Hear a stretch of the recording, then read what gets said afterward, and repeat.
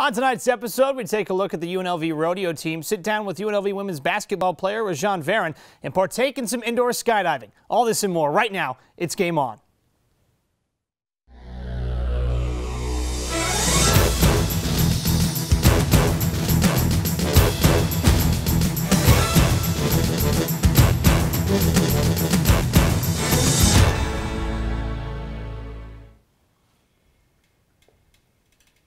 Welcome to Game On. I'm Austin Ennie. And I'm Farron Enos. Well, there's over 25,000 students at UNLV, but only a select few can handle barrel racing, goat tying, and calf wrestling. Carl Winder has more on the UNLV rodeo team. UNLV has a lot of hidden gems on campus from the bowling team to dance sport, but the rodeo team is trying to get out of being that needle in the figurative haystack. I feel that a program like this deserves to be recognized, you know? We deserve to have the same that all the other teams at school have because we have just as much success. But for others, they're there to win no matter who is looking. We're here to compete. We don't really, we're not paying attention of how many people know us or or you know uh, how much publicity we get. The rodeo team has seen a lot of success in its over 25 year history 14 national titles, 25 regional championships, and lots of riders competing at the professional level. But something that is greater than any award is the unity among each other. The uh, atmosphere that we create, we all live together, we practice together, we go to school together. It's just a, it's a good atmosphere, good friendships. The team receives a little funding from the university and is not recognized as an NCAA sport because there are cash prizes, but the community support is what keeps the program going. Without them, we certainly wouldn't be as competitive as we have been for the last 25 years. As for the future of the team, Barnes said he wants his team to have the same amount of recognition as other teams on campus. These students here, I want them to have the same level of respect as, you know, the other athletic uh, sports on campus, the basketball team, the football team, uh, on down the line. For Game On, I'm Carl Winder. Thank you, Carl. Looks like a great event and a great chance for athletes to showcase some talents. Now let's send it over to Austin, who is sitting down with visiting Univision sports anchor Eddie Vargas. That's right. Thank you, Farron. Sitting down with now uh, with Eddie Vargas, Univision sports anchor. Eddie, let's talk about Univision. What you do there at the station? I'm the 11 o'clock sports anchor. Um, I cover any event, any sporting event that comes to Las Vegas, mainly UFC fights and boxing fights. Now, what is your favorite between the two? Obviously, a different distinction between boxing and UFC. Which one do you prefer? Well, I grew up to boxing, so I would lean towards boxing, but recently UFC has really grown on to me. Here in Las Vegas, obviously a huge fighting community since we don't have a professional sports team here. Uh, let's talk about the importance of these two fighting, I guess, showcases here in Las Vegas. Yes, well, it's it's great for our economy. It brings a lot of tourists in, and like you said, there's no we don't have a professional team to to lean on, so it kind of is a professional team for us. Now, boxing was the most popular of the two, uh, leading up to probably the last what would you say three years, and now yes. do you believe that UFC has taken over? Why does that happen? Well, it's slowly taken over mainly because boxing ain't where it used to be. Before, you could the list could go on and on. Um, you had Mike Tyson, Holyfield, um, Oscar De La Hoya. The list keep going and keep going. And now you you ask about boxers. You got Mayweather, Pacquiao, which they're on almost on their way out, and uh, Canelo Alvarez. Not that many people know about him, but he's he's on his way up too. And um, well, that's the big decline compared to to UFC. And I think UFC markets itself very good. They um, well they offer free fights on Fox, right. and then they have the Ultimate Fighter Challenge on um, uh, Spike TV. Right compared to boxing that has HBO, which not everybody can afford, and uh, Friday Night Fights on ESPN.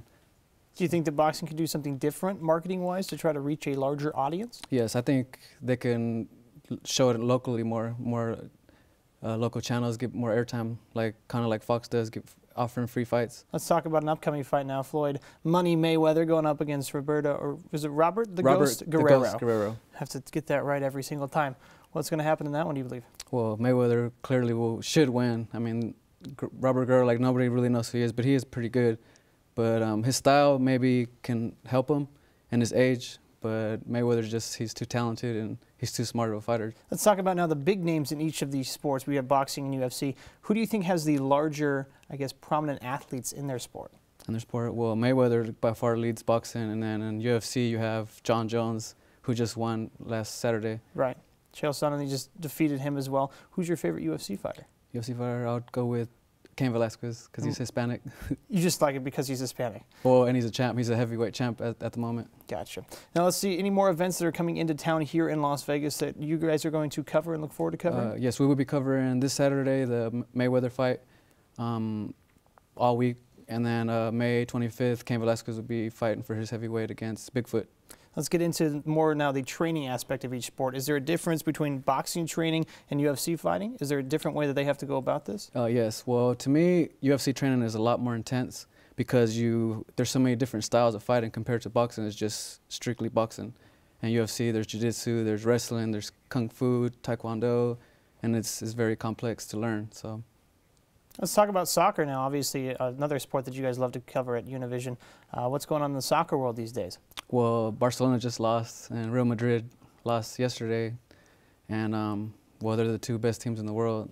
So And how is it different reporting for Univision compared to, say, an ABC, a Fox? Obviously, sports reach a larger, larger audience, but they're different sports. They're not the mainstream sports you see here baseball, football, more so soccer. Let's talk about that a little bit. well, you have to well, you have to basically talk about what Hispanics like, Right. and they love soccer, so it's soccer based always. And then after that, it's probably boxing, and then baseball, and NFL they don't care about.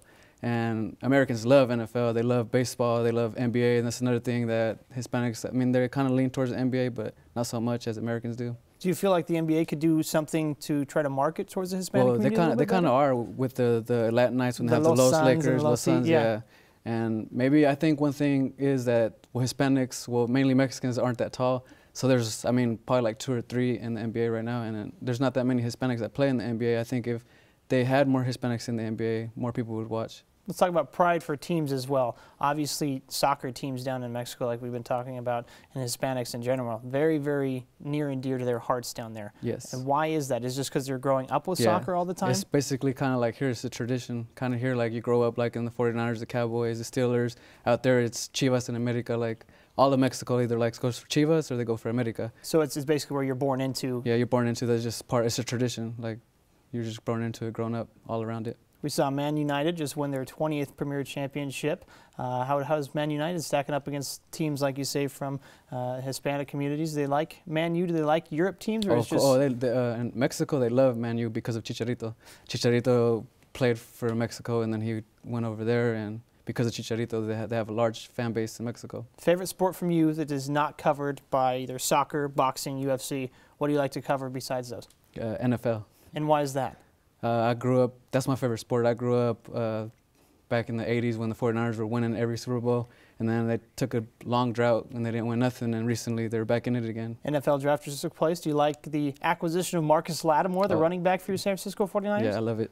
You think he's going to fit in? Well, we'll see. I mean, I don't know. The, the injury is, is we'll have to, we'll just have to see. I really don't know how he recovers from it. Perfect. Well, Mr. Eddie Vargas, thank you so much for joining us in studio today. Time now for our first break, but when we come back, Farron sits down with UNLV football Rebel Yell beat writer Danny Webster. Stay tuned. I remember the moment. I'll never forget that moment. That moment? It was a moment that changed my life. I'd been training with my team for months, and now we had been called up for the first time. The real deal. Wildfires were getting dangerously close to homes. At that moment, I got my first taste of just how important the Guard is to my community. See how the Guard can be an important part of your life at NationalGuard.com. What you doing, Dad? My favorite thing, Really, Dad, what are you doing? paying bills. Every month a stack of them come, just as regular as the rain. What's this one? That's a special one, son. I pay it first. How come? It's money for my retirement account. I put some money aside each month just like I was paying a bill. Wouldn't you rather buy something? I don't want to work forever, and I don't want you to have to support me in my old age. In a way, I'm buying peace of mind. I'm on the installment plan. Something's not right. My first symptoms were constant tingling in my toes. A double vision. They said you have multiple sclerosis. Kind of had to get a grasp on reality. I had to adapt and change very rapidly. We had to learn how to drive with my hands. Yeah, that was interesting. A symptom may cause you not to be able to do that anymore. And at one point, I wasn't able to do any of those. Since I've been cycling, it's definitely helped my walking. It's a fantastic opportunity to be working together with a common goal of curing MS, and sharing is the key.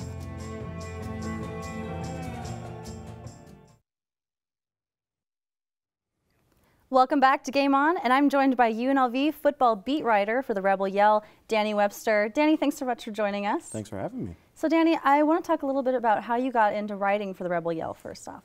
Well, I first came here to UNLV in spring of 2011, and by April, I decided that I wanted to go ahead and, you know, get my name out there, get some clips going. So I applied for the Rebel Yell and April of 2011, and by June, I became a copy editor, and I've been on the staff for about two and a half years now. Great. And how'd you get into sports writing? Is that a passion of yours? Oh, yeah. I've been doing sports writing since I was a sophomore in high school. Um, and since then, I've been saying that I want to do this for a living. And I'm going on about my sixth or seventh year now doing this. Great. Now, tell me how or why you're focusing on football. Well, football is one of my favorite sports, and even though UNLV you know, has struggled over the last couple of years, I've always taken a great interest in covering teams, uh, football in general. And football, like I said, is one of my favorite sports, and I do like to focus on that as much as possible. So let's talk a little bit about football then. Right. So tell me what you think the Rebels have in store for them this season. It's tough to say. When you're talking about UNLV football, you're talking about like a crapshoot. You really don't know what you're going to get.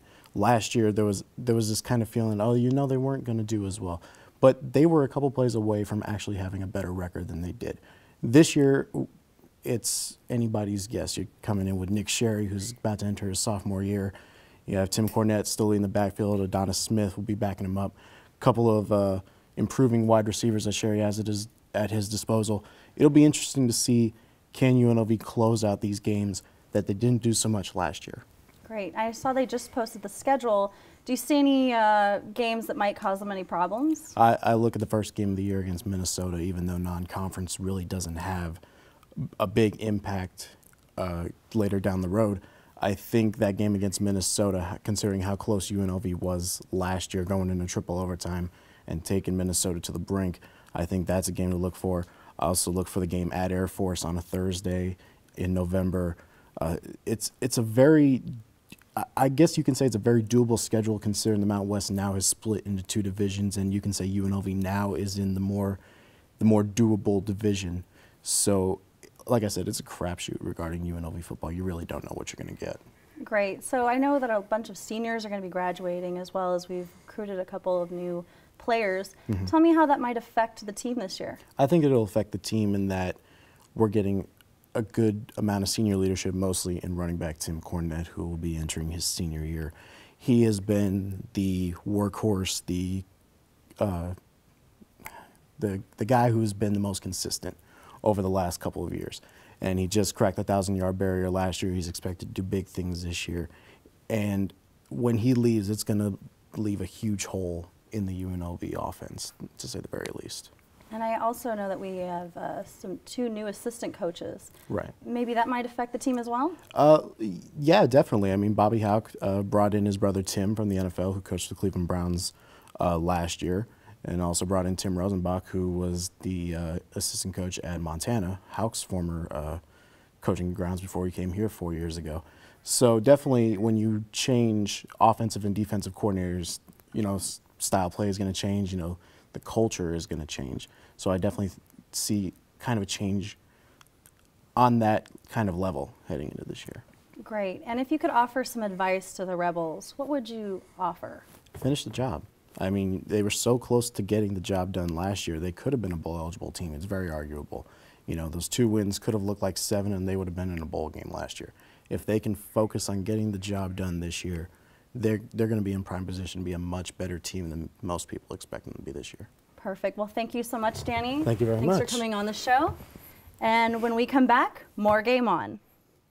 You could choose to join a gang.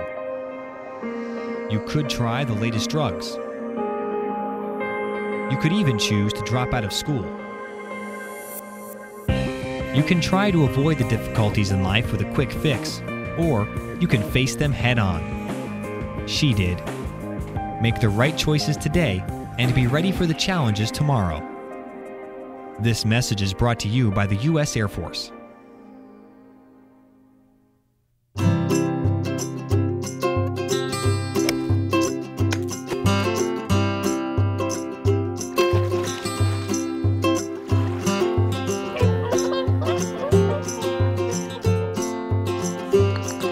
Think you found every hazard out here today? Think again. The spot you missed could be a killer. That spot on your skin could be skin cancer. Fact is, if you're a man over 50, you're in a group most likely to develop skin cancer, including melanoma, the kind that kills one person every hour. One in five Americans is likely to develop a form of skin cancer during their lifetime. That's why your best shot is to check for a spot. It's easy. Follow through and check your skin. It could be the save of a lifetime. Go to spotskincancer.org to find out how. A message from the American Academy of Dermatology. Welcome back from the break. Dancing with the Stars has taken the world by storm with their creative ballroom dancing skills. And here at UNLV, there may not be any stars, but there's a select few that have a passion for this elegant sport. Carl Winder has more on the story. I love dance so much that I thought it was worth giving it a shot, and I got into it and tried it, and it turned out that I'm pretty good at it. Whitney Drucker is an award-winning dancer and she is living proof that in order to be successful in dance sport, it's more about the willingness to learn than how many years a person dances. I took ballet when I was four, but softball went out, so I didn't really have any competitive training until three years ago. Dance sport is a sport that judges people on their best salsa, rumba, swing, and other dance styles. According to dance sport organizer Gail Michael Parsons, the activity is ballroom dancing, but the phrase dance sport was to describe competitive ballroom dancing. And for the former dance sport competitor, the sport is addicting. It is like an infection. You, you just, you always want to do it. Some people would say dance isn't a sport, but for Parsons, she says that is a common misconception. It takes skill, it takes a lot of time, it takes effort to get to the level that you want. As for Drucker, aside from receiving her master's at UNLV, her goal is to take her skills in dance sport to the next level in competition. I hope someday to go into professional ballroom after college. Reporting for Game On, I'm Carl Winder. Thanks, Carl. Time now to send it over to Austin, who is sitting down with Lady Rebels basketball player Rajon Varon. Austin? Thank you, Farron. Sitting down with Rajon Varon. Rajon, thank you so much for being here. No problem. Thank you. First of all, I have to congratulate you, the Mountain West Freshman Player of the Year. Congratulations. Thank you. Thank you. What went into all that work? How did it come up? How have you been training this past year and finally uh, paid off? Maybe the support of my teammates and my coaches, first of all. Uh, you know, just hard work and dedication. You guys in the off season now. What are we doing training wise? How's that going, and how's everything going with the Lady Rebels? Uh, yeah, we have workouts every days uh, since last game. Uh, we do weights, workout with coaches, individuals workouts, and you know spend time also with the girls. That's a big part of you know chemistry with the team. Obviously, having high expectations going into next year. Do you mm -hmm. have mm-hmm. some goals that you guys are already setting? Uh, yeah, we're trying to win it all next year. We have Mia Bell coming back and uh, Elena Caesars being able to play next year after her injury. So we're trying to, you know, doing big and going for the win. Obviously, West. a huge thing off the court as well with your teammates. How do you guys get along off the court? uh, it just, I don't know. We just a fun team, just a fun team. You know, everybody likes each other. We love hang out and we basically have the same passion, basically laugh, you know, have times, watch movies and stuff like that. If we go back to this last season, what was the toughest part for you guys? Uh, maybe Elena when she hurt her knee. You know, it was kind of like a she had she was having a great seasons, and you know, just one game she just couldn't play anymore. Right. And uh, everybody was down, but at the same time, everybody wanted to win for her. So Right. How did you yeah. guys rally around? Did you say something? Did you guys all come together and say we have to play and step our game up now? Yeah. Well, yeah, we didn't have any choice anymore to, to you know, play for Elena and make stuff happen. All right. Let's talk about now you individual goals. Do you set any individual goals? Or are they all team oriented for next season? Uh, I'm trying not to set too many self goals because it's team effort, but um, I'm you know just trying to keep playing basketball, keep doing what I love, and uh, grab as many rebounds as I can. So run games and stuff like and that. And how do you think the team looks coming into this next season? Do you think they look all right? Yeah, you, we look pretty good. You guys Everybody should come watch us play next year, and we look pretty, pretty good. You guys are going to compete. Well, Rajan, thank you so Thank much you. for joining me in studio today. You're welcome. Time now for a quick break, but when we come back, more of Game On. Stay tuned.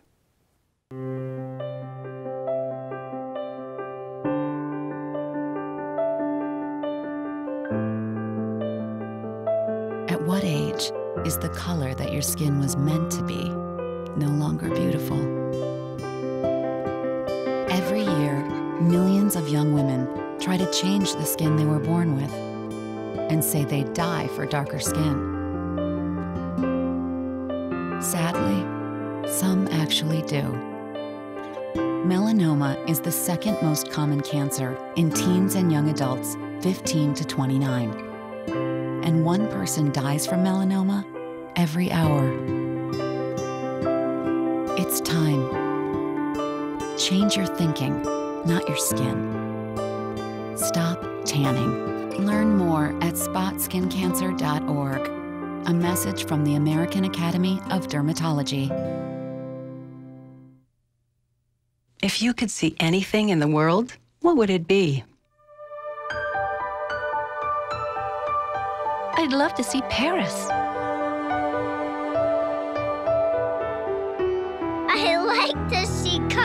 Cupcakes falling from the sky.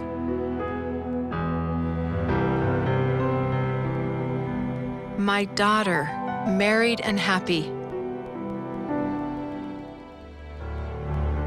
I want to see things the way I used to.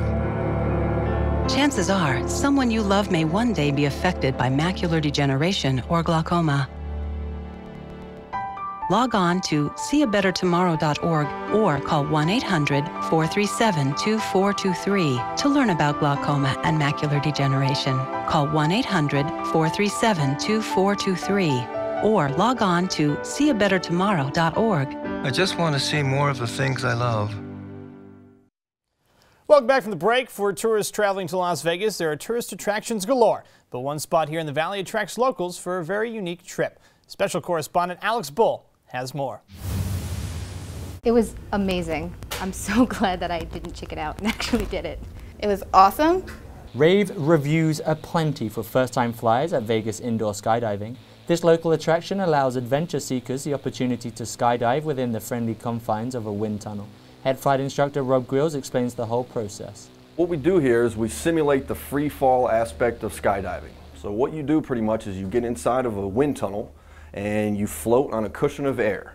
Now the biggest difference between indoor skydiving and real skydiving um, is the amount of surface area that you have to fly over. So there's a 12 foot circumference of wind inside of our tunnel and that's what you need to learn to balance over. In real skydiving, everywhere is lift. So when you're falling from a plane, you're not necessarily staying in one direct path down to the ground. You're usually tracking forward or backward ever so slightly. While it may not be as dangerous as actual skydiving, the staff makes sure all participants are trained in safety before they take to the pseudo skies. Well, what we do is we have people watch a short video first, which basically talks about how to fly and what to do. After the video is done, the instructor comes back in the classroom and we go over everything in the video. And we also answer any questions pertaining to the body position or hand signals. Now, you have to keep in mind that we don't give a whole lot of instruction here as far as details go. The reason is it's very difficult to pick up. It's like riding a bicycle for the first time. So we give people some basic procedures to follow and then hopefully they can follow those directions here. First-time flyers Megan Rowland and Jessica Rivera explain their experience. The wind picks you up and it gets you used to the feeling being in the air, how to get your body in the right position so you don't go flying up towards the ceiling or into anybody around you for that matter. And then they go ahead and they teach you basically how to keep the form so that you can go higher. The better your form is, the higher you go. So basically you're jumping into the fan and then he will instruct you on where to keep your arms. And then once you keep your arms in the right position, they'll let you go up. He'll actually turn you upside down and then you can do different techniques. Scared of heights? Come combat them right here at Vegas Skydiving. I'm special correspondent for Game On, Alex Bull. Thank you, Alex. Well, Farron, I know for a fact that Mr. Alex Bull is scared of heights, so that kind of freaked him out a little bit. Would you be into indoor skydiving? I could do indoor skydiving. I couldn't do outdoor skydiving. Why is that? Uh, because I'm afraid of heights as well. So once you get up in the clouds, then it's going to become a bit of a problem? I would definitely be one of those people that got into the plane all the way up. We're climbing, we're climbing, and then I would just, I would clam out and just not do it. You'd freak out and say, I just, I just can't do this. I would. I would freak out. That's what right, about you? You know, I could do indoor skydiving. It'd be kind of exhilarating, I think adventurous, but I think that I could actually get through the heights. So I know that Alex, it was a tough job for him, but he got the job done and did a good job I filming think you everything. did a great job. I thought so too. All right, well, time now for a quick break, but when we get back, our final thoughts and we look ahead to next week's show. Stay with us. For others, it may have just been a summer job. But for me, it was training. Now I'm an Air Force pararescueman, and my job is to save lives.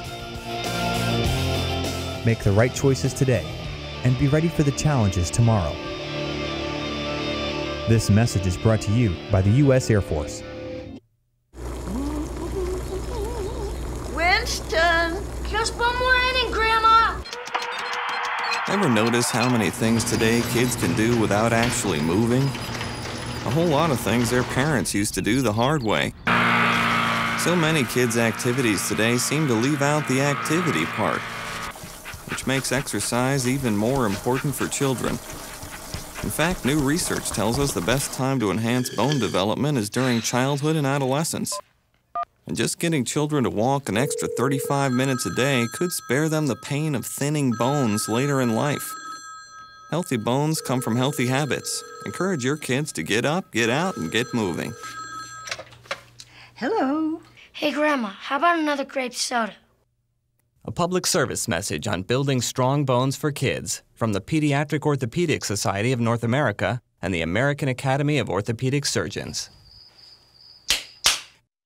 Welcome back from the break. Well, Farron, I think it's time to get to the rodeo or do a little bit of indoor skydiving. What do you think? I think so. Let's do it. Should always be a good time. well, that does it for this week's show. If you would like to catch up on past episodes of Game On, all you have to do is go to unlvtv.unlv.edu. I'm Austin Enning. And I'm Farron Enos. Thanks for joining us. Until next time, have a good evening, Las Vegas.